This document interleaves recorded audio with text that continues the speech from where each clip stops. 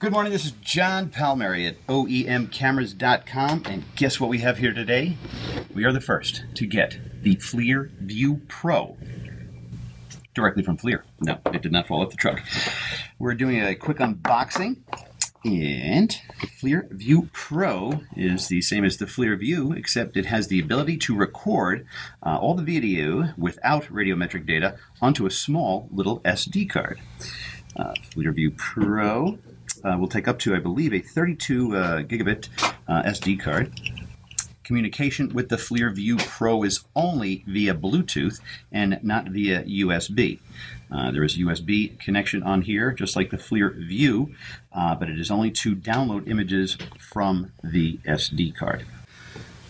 So the FLIR VUE Pro is slightly larger than the FLIR VUE, which we have here. And you can see probably by only about eight millimeters uh, wider in the back. Uh, obviously, that is to uh, make way for uh, the SD card, a new interface card, and so forth.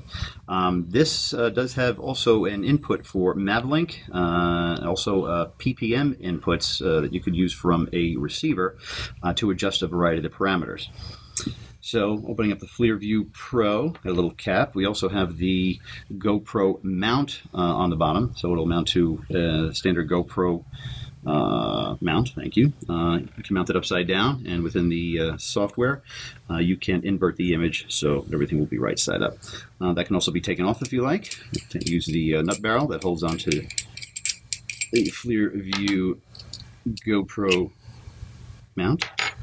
You can put this back on if you choose, or leave it off, uh, or you can even put this through a small hole uh, in some type of enclosure, like we do here with our dual image sensor uh, uh, from OEMcameras.com, and put that on there, and you can leave it in the panel and it'll work just fine. Um, there are two buttons on the side here. One is to uh, start recording when the unit uh, is uh, booted up. Uh, also to start the Bluetooth communication.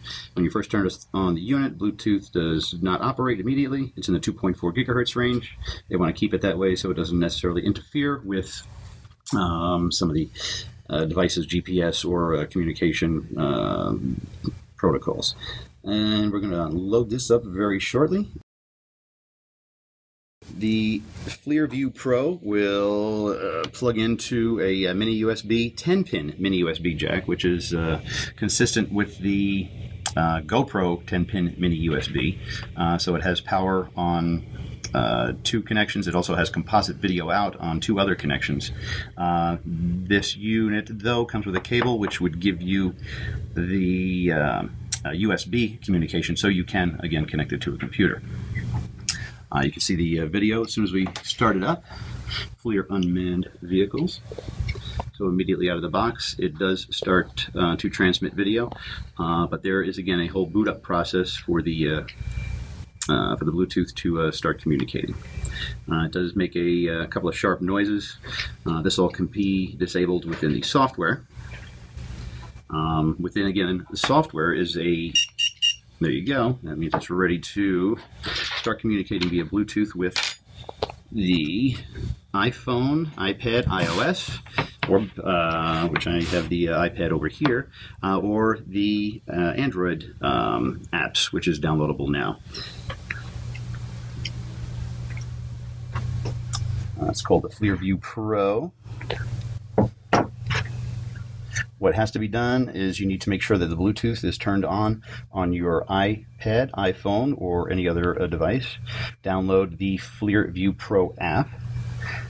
Uh, when the uh, unit is green uh, and the Bluetooth uh, uh, button there, that means it is off, believe it or not.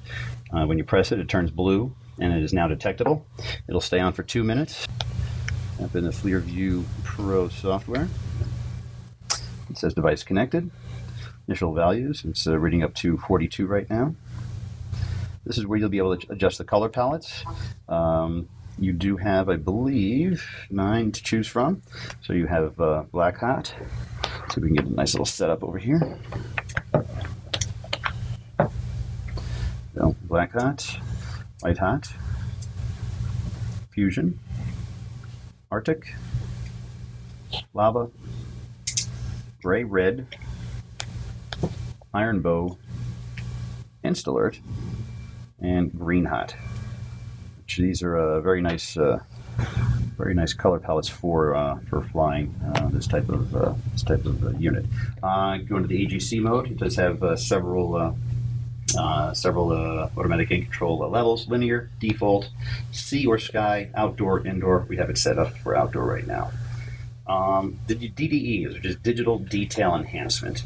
Uh, that's FLIR's uh, trademark and patented uh, logarithm that actually sharpens up the image uh, and allows you to get more information depending on how sharp it is. Uh, when it does get sharper, it looks a little bit more noisy, but definitely can get more image out there. Um, there are some other settings which was not described to me, and I'm sure will be in the manual when the manual is available. That's all we have for today. We'll have more videos on the FLIR VUE Pro coming up soon. In the meantime, you can get any information from our website, oemcameras.com, by clicking on the link below.